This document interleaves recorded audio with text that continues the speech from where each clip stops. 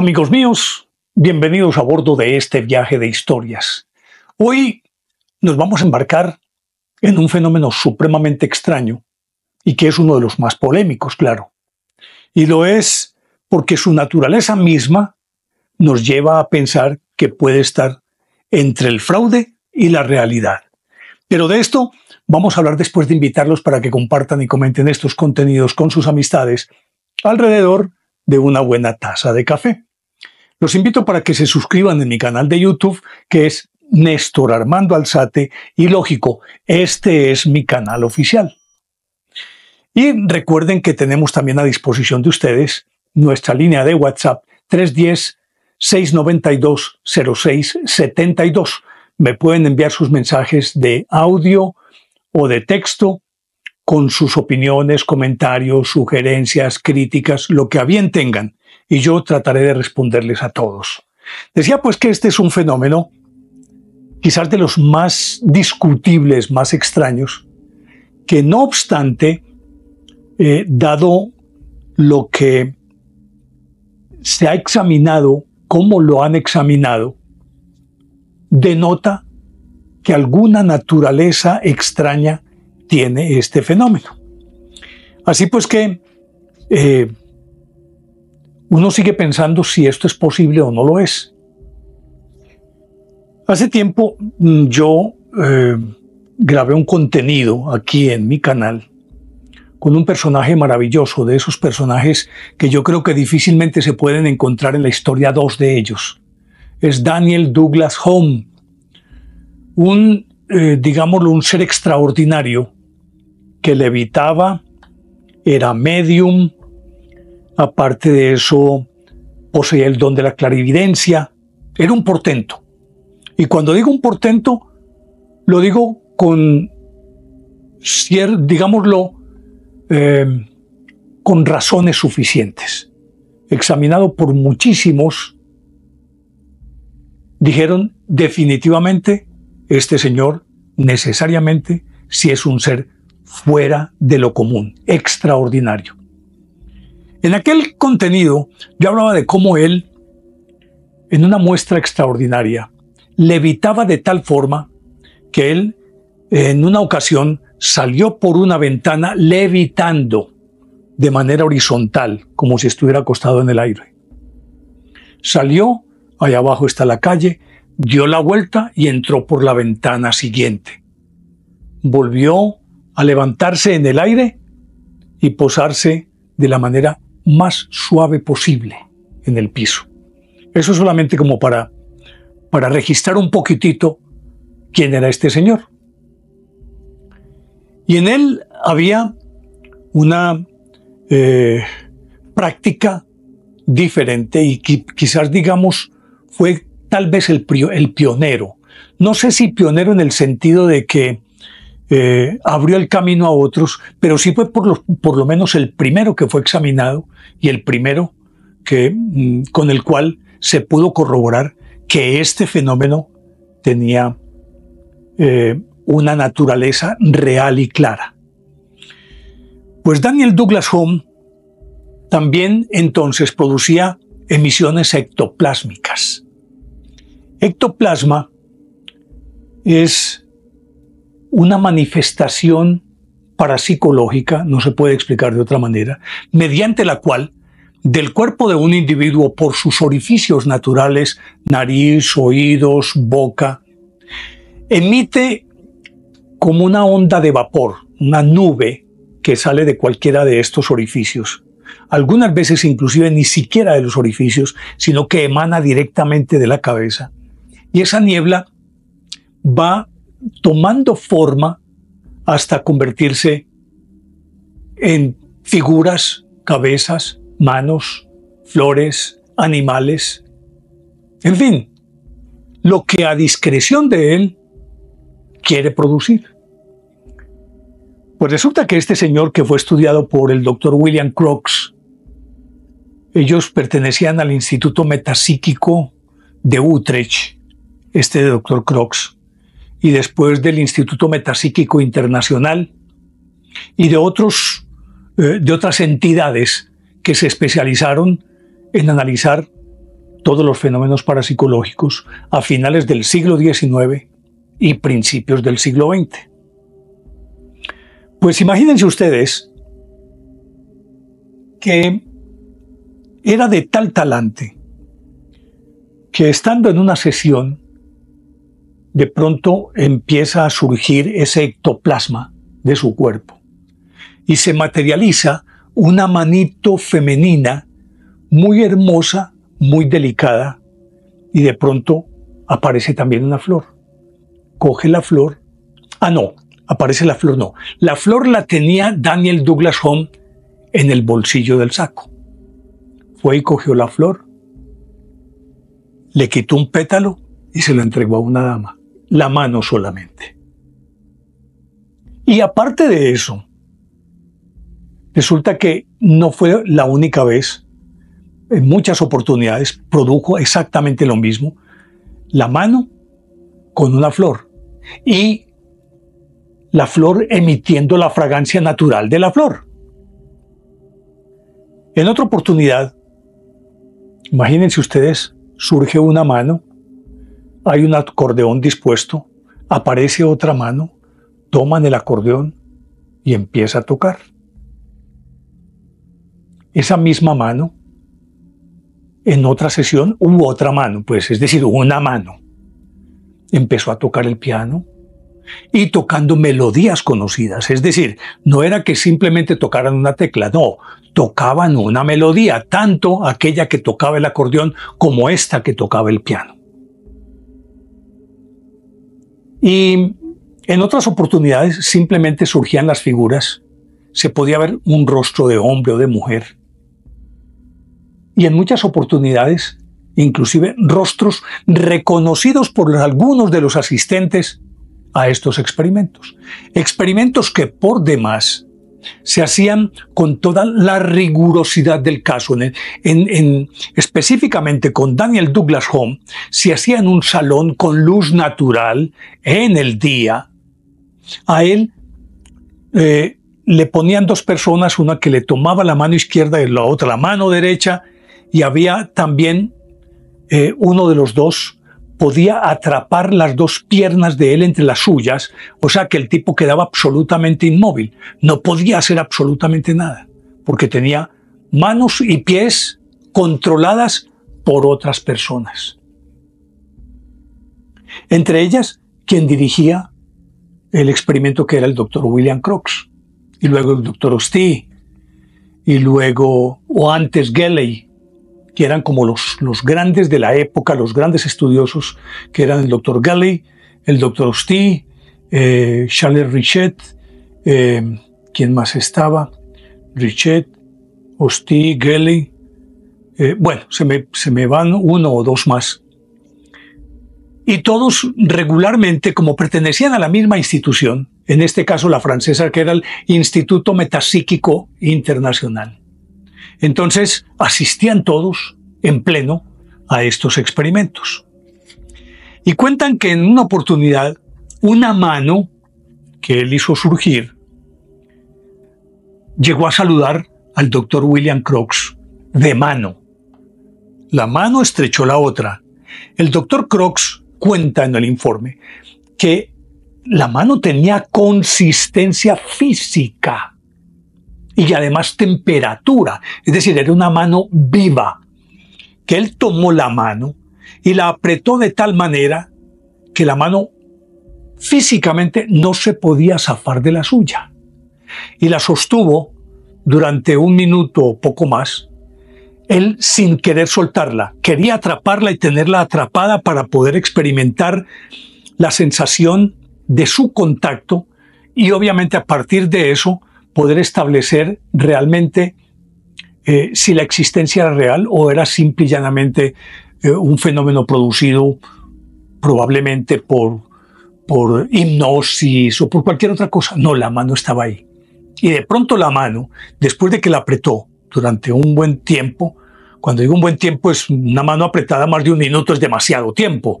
Uno nunca saluda a alguien de mano y se demora con la mano de esa persona, a no ser que le sea la, hermana de uno, la mamá de uno, eh, o alguien entrañable que nos suelta la mano porque ese contacto físico está transmitiendo el afecto, la calidez y el amor. Por lo tanto, un minuto es muy largo.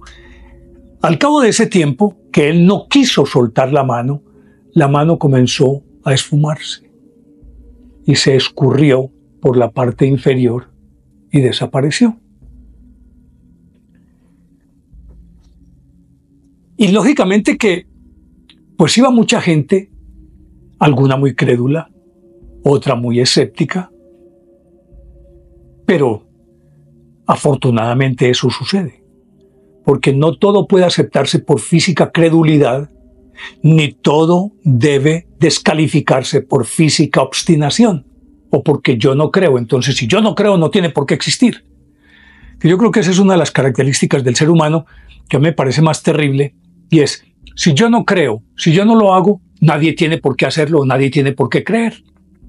Pues bien, en una de esas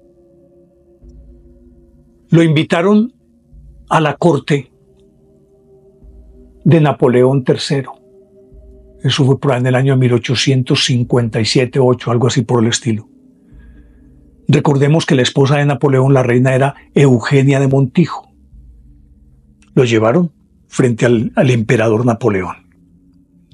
Y estando allí, por expresa petición de Napoleón III, le dijo, yo necesito que me escriba algo, que haga aparecer una mano y me escriba algo.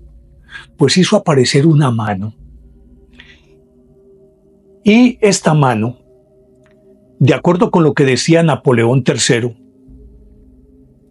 supongo yo que él había conocido a Napoleón Bonaparte, siendo él muy niño, decía que tenía la textura y más o menos parecida a la mano de Napoleón. Esa parte me parece que es discutible, porque tal vez influido por el mismo amor o por el respeto o por cualquier circunstancia o por su parentesco, podría asociar una mano con otra. Pero hasta ahí estamos de acuerdo, ganan los escépticos. Pero le dijo que escribiera algo. Pues resulta que la mano fue y tomó un lápiz e hizo como a guisa de autógrafo la firma de Napoleón Bonaparte. Ahí quedó la firma. La mano. Y cuando digo la mano es porque aparece solamente desde la muñeca, desde aquí, esto, esta parte. Esta mano es la que aparece. Y aquí para abajo, nada. Nada, absolutamente nada. Y resulta que esa misma mano, entonces, una vez que Garra pateó la firma de Napoleón, se desplazó, saludó al emperador, a Napoleón III. Napoleón III tomó la mano y besó aquel dorso. Besó la mano. La mano se desplazó y como a su lado estaba mm, la emperatriz Eugenia de Montijo, también la mano quiso saludarla. A ella le dio como susto. Él le dijo, no, no, no, tranquila, tómala y bésala. Ella tomó la mano, besó la mano y lo que ambos dijeron era que la mano estaba absolutamente viva, tenía temperatura.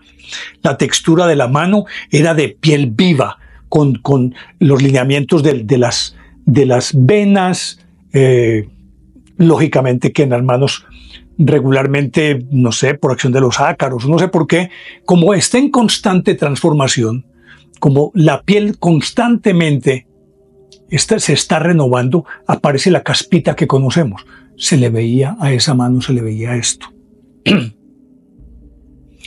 y como para que no hubiese dudas surgió una mano. Y la mano, las dos manos, lo mismo que había ocurrido antes. Había un acordeón, tomaron el acordeón y empezaron a tocar el acordeón.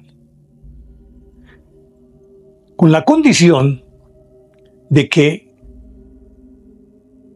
se fue desplazando y recorrió parte del salón y luego se esfumó.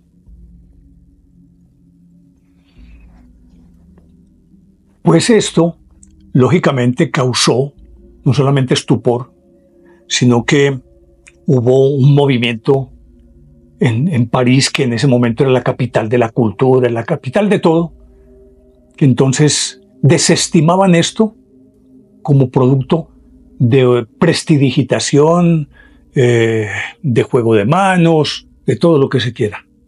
Pero resulta que los que estaban ahí, que ya hemos mencionado, que eran en ese momento las eminencias de la época, gente de academia, profesionales, fisiólogos, todos daban testimonio de que eso era así. Pues Daniel Douglas Home, a quien nunca en ninguna de sus manifestaciones parapsicológicas pudieron encontrar el, mejor, el menor indicio de fraude. Eh, pues se convirtió no solamente en una figura muy popular, sino también discutida por lo que estamos diciendo. No obstante, salió muy bien librado, sobre todo porque Napoleón III, que se quedó tan estupefacto que, que inmediatamente dio fe de que en efecto era así.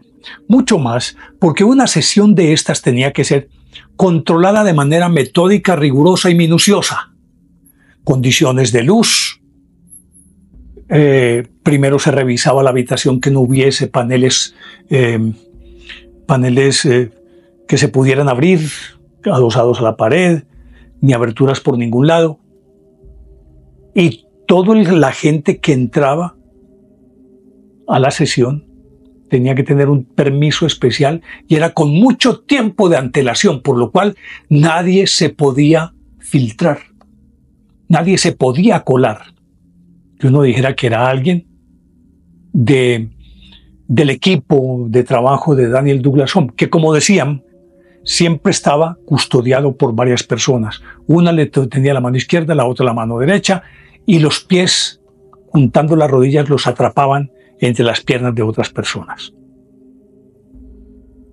Pues él, como decíamos, fue, digámoslo, precursor.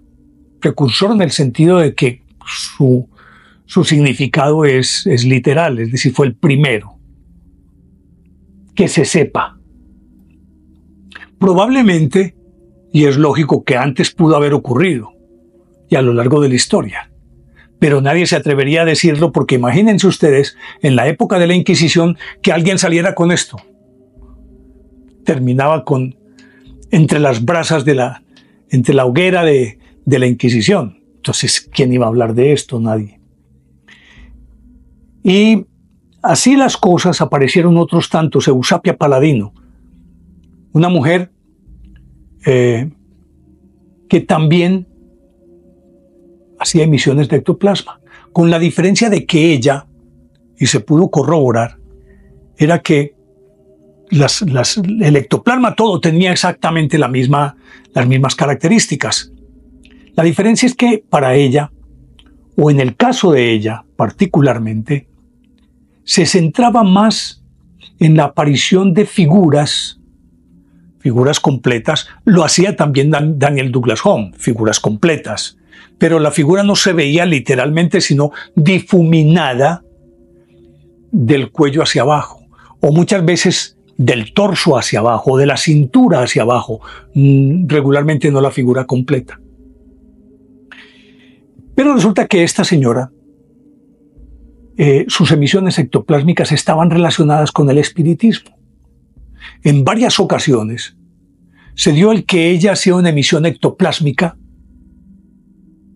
y entre los asistentes inmediatamente se quedaban asombrados o porque reconocían como un caso de la familia, familia Vilano, creo que es, yo la tengo por aquí.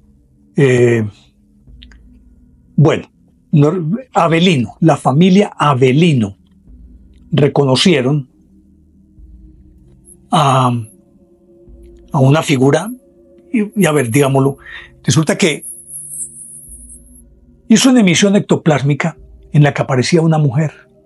Se veía la mujer de cintura hacia arriba, embosada con una, digámoslo, pañueleta, y en brazos un niño. El niño lo de unos tres años, lo, lo decide estos señores, de unos tres años, y la cabecita de él estaba por encima de la cabecita de, de la mujer. La familia Abelino reconoció al niño como uno de los hijos que habían de, de, ese matrimonio que había muerto cuando tenía tres años. Lo extraño era la mujer, a quien pertenecía la mujer. Esa no la reconocieron pero el niño sí parecía al hijo que ellos habían perdido. Y es que quiero leer esta parte porque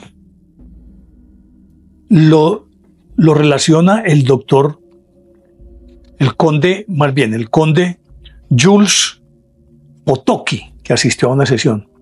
Y miren lo que decía. Ante mi cara se formó una bola luminosa, escribe el conde Jules Potoki quien por su parte describió la escena. La bola se alejó y luego se acercó muy cerca de mi cara. Y percibí con gran sorpresa y también con gran alegría por mi parte los rasgos perfectamente reconocibles de mi hermana, que me sonrió como cuando vivía. Me pareció mucho más joven tal como se veía a los 25 años, siendo así que cuando murió tenía 54. La parte alta de la cabeza se veía circuida por velos nubosos. La aparición del rostro Duró solo unos segundos. Tuve tiempo de gritar, es ella. Y luego todo desapareció. Una mano trazó en mi frente varias señales de la cruz, como lo hacía siempre mi hermana cuando se despedía de mí. Imagínense ustedes. Es para uno quedarse hiper asombrado. A un sorbito de café.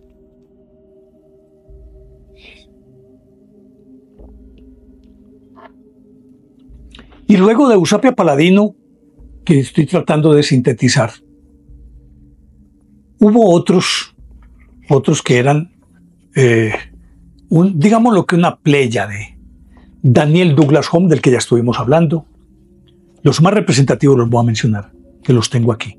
Eusapia Paladino, Jan Gusik, Franek Kloski y Rude Schneider fueron los más representativos de todo este movimiento.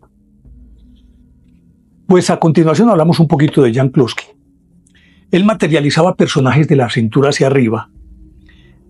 Y entonces las condiciones en las que hacían estos experimentos ya eran la sede del Instituto Metapsíquico Internacional. Y a petición del mismo Jan Gusik, las condiciones de luz no eran tan eh, claras como las de Daniel Douglas Home, sino un poco más apenumbradas. Obviamente que al darse esta coyuntura de la penumbra, es apenas concebible que uno diga, bueno, si hay penumbra, hay posibilidades de realizar trucos y son más difíciles de detectar. Pero imagínense ustedes que entonces eh, los asistentes y los experimentadores querían ver los rostros que él hacía aparecer. Salía esa nubosidad o esa niebla, formaban los rostros y se iban eh, puntualizando de tal manera que parecía como si alguien los estuviera esculpiendo hasta llegar a ser perfectos. Y entonces decían, pues que queremos verlo. Pues los mismos rostros se acercaban a las lámparas que estaban en las mesas, se acercaban para que la luz pudiera iluminarlos y los asistentes pudieran percibir los rasgos absolutamente todo. Y se quedaban asombrados. Como para que hubiese más pruebas, cuando aparecían las manos, particularmente creo que fue con Kloski, resulta que él hacía que las manos habían puesto unas especies de tinajas o de recipientes con agua hirviendo prácticamente. Y encima de la superficie de, esa agua le echaban parafina para que se mantuviera líquida. Entonces, a petición de Osti, de Richet, de Gelley, eh, las manos se sumergían en el agua y se sentía como borboteaba el agua que estaba calientísima. Y entonces al entrar se formaba una capa de parafina en la mano que se convertía en un molde. Entonces la mano, esa mano fantasmal, se sumergía ahí, luego salía. El doctor Osti entonces llevaba la mano a agua fría e inmediatamente la parafina al enfriarse formaba un molde. La mano desaparecida quedaba el molde, el doctor llenaba ese molde de yeso y una vez que el yeso estuviera ya eh, dentro y compactado, volvía y lo sumergía en agua caliente, desaparecía la película de parafina, aunque quedaba, dicen ellos, digamos como una especie de, de, eh, de película mucho más delgada que era la parte interna de lo que había sido eh, donde estaba alojada la mano antes de echarle el yeso. Una de las pruebas más importantes en ese sentido ocurrió el 20 de noviembre de 1920, que hicieron esto. Pero lo interesante y extraño de esto era que las manos en, el molde se veían obviamente con las arrugas características de la piel, las hendiduras que es apenas lógico que tenemos todos, se veían en la figura o en esa mano producto de esa puesta en, agua caliente cubierta de parafina. Pero ojo, imagínense ustedes que hubo un momento en que el doctor eh, Osti le dijo al doctor Gelly, hombre, si la parafina azulada ya hemos hecho el experimento. ¿Quién nos dice o quién no nos, nos puede asegurar que el medium, en este caso, sepa que es parafina azulada y pueda manipularla? Para que no hubiese sospechas de ninguna índole, le, agregar, le, sugirió que le agregara un poquito de, de colesterol, que sometida ese colesterol a una solución de ácido sulfúrico, algo así por el estilo, inmediatamente daba un tono rojo a toda la textura del, del, guante, pues, de parafina. Y eso lo hicieron ya cuando estaba en marcha. Es decir, que aquel no pudo haber tenido tiempo de haber manipulado algo. Entonces el guante de parafina salió rojo. Y podríamos seguir hablando muchísimo más de todo esto. Pero quiero finalizar con que materializaban perros, gatos. Y hay dos o tres eventos, porque es que me quedan varios personajes para hablar de ellos, pero quizás más adelante hablaré sobre ellos, sobre Kloski, Schneider, y detenerme un poco más sobre Gusick, que dicen que fue uno de los mayores portentos en este sentido. Y es que en el caso, por ejemplo, de aquella sesión de Daniel Douglas Home, apareció un perrito cerca a la emperatriz Eugenia de Montijo y parte sin novedad. En el caso de Kloski, imagínense ustedes, aparece un perro. Y resulta que el perro está mojado. Y huele a perro mojado. Perro que se sacude en la mitad de la sala. Y olía a perro mojado. E hizo aparecer una ardillita ardillita que por lo demás se paseó por entre los asistentes, subiéndose por la espalda y bajándose sobre, por los hombros de los y saltando de uno en otro. Inclusive uno de esos perritos también saltó a las piernas de una dama que salió así espantada e inmediatamente desapareció el perrito. Pero se sentía el olor y que cuando se les tocaba eran animales vivos, vivos, de temperatura, características, porque otra cosa es que aquella, por ejemplo, me tengo que devolver porque se me van yendo cositas, pero miren ustedes que algunas de aquellas figuras en las que se veían rostros, no solamente se podían delimitar los rasgos, sino la expresión de la mirada viva, que se podía clavar específicamente en alguno de los invitados, mirarla a los ojos Y que eso fue en parte también lo que turbó un poquito a la emperatriz Eugenia de Montijo en un momento dado, cuando se paseó otra cara cerca, mirando a los ojos directamente. Y se veía parpadear. Pues todas estas manifestaciones, lógicamente que decían que atrás había una gran tramoya y que profesionales podrían en un momento dado proyectar, no sabemos cómo, porque estamos hablando de 1920, por ejemplo. En aquella época, que supiéramos, no existían, existían los hologramas para proyectar algo. Pero sí había eh, la suficiente tecnología, y lo quiero leer aquí, para demostrar que esa sustancia electoplasma es física estoy extrayendo de este libro que el doctor Charles Richet, uno de los más destacados metapsiquistas, estoy leyendo, ¿no?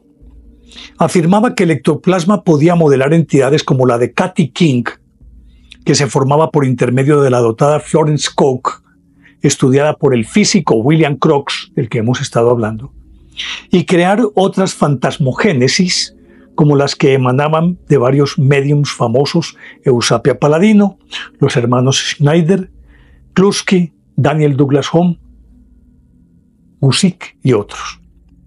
De acuerdo con estos estudiosos, las características del ectoplasma varían con los diferentes mediums. Puede ser visible o invisible, tangible o intangible, aunque generalmente aparece como un humo de aspecto gelatinoso, gris, blanco o negro y sensible a la luz, excepto a la infrarroja. Huele de forma similar al ozono. Puede ser pesado, medido y analizado químicamente. Contiene leucocitos, albúmina, grasa, calcio y nitrógeno. Esto lo hicieron estos científicos para demostrar que es una realidad, que no es producto de una mente calenturienta, ni que es aceptado por un montón de mentes crédulas. No, científicamente comprobado. Y tan fue así que imagínense ustedes que justamente por todo eso de, de los escépticos, Resulta que hubo un documento que se llamó, el Manifiesto de los 34. 34 eminentes hombres de ciencia, de la sociedad y de la cultura, firmaron un documento en el que afirmaban que este fenómeno era eh, realidad.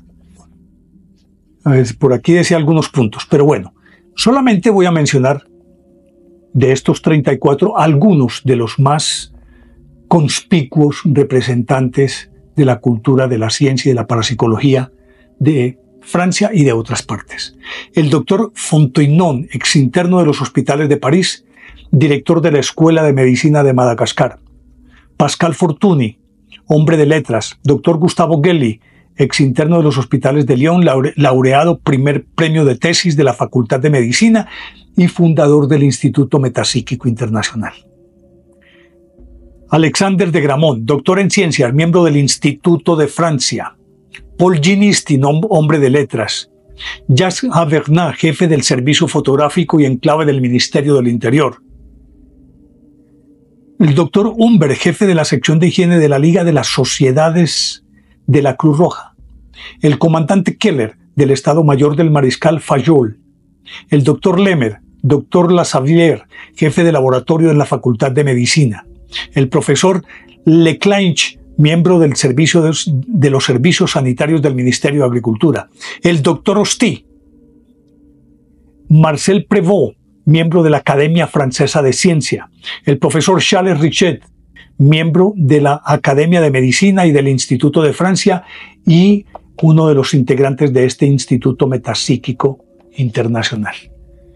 Pues resulta que estos eh, dieron a conocer el control de los, dieron a conocer un montón de, de puntos que sería muy dispendioso mencionarlos aquí, sobre cómo habían corroborado que en efecto el ectoplasma es un fenómeno real, que no tiene explicación lógica, y en el que obviamente algunos de ellos, a Eusapia Paladino inclusive la encontraron haciendo trampa en alguna oportunidad.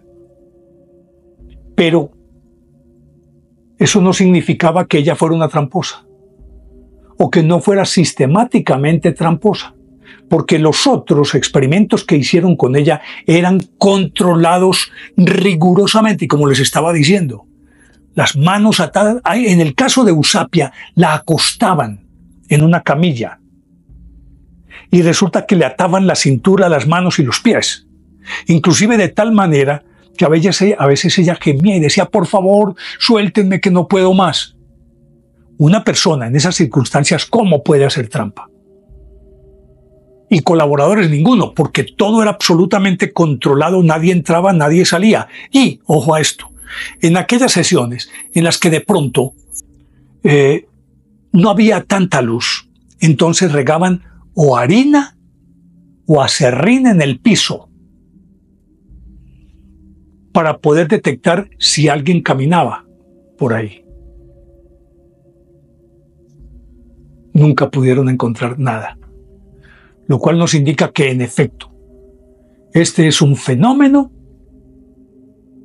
que no se puede descalificar per se, pero cuyos orígenes y mecánica nadie conoce el poder de la mente del medium, fuerzas externas sobrenaturales.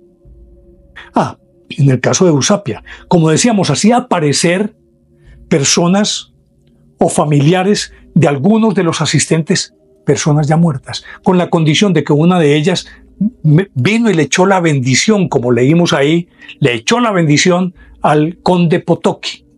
Pues bien, vamos a finalizar y quiero contarles que esta historia, pues tengo varios libros más, pero particularmente he tomado estas historias de este libro, Mediums y Fantasmas, del doctor Robert Tockett, y del mismo autor, Hombres, Fenómenos y Personajes de Excepción. Quien quiera puede consultar estos libros. Y le podría recomendar más, El mundo de lo ultrasensorial de Hans Herrling, es decir, tengo varios libros, lo consulté en varios libros, pero particularmente los más explícitos y los más extensos son estos dos. Quien quiera puede buscarlos. Lo encuentra en Internet y creo que lo puede conseguir en Mercado Libre. Estos son libros eh, de hace muchos años, publicados hace muchos años, pero todavía se pueden conseguir. Así que ahí pueden corroborar todo lo que yo he contado hoy. Y está el manifiesto de los 34 del que estaba hablando en donde ellos, científicos de toda índole, dicen, ese fenómeno es cierto y no tiene explicación.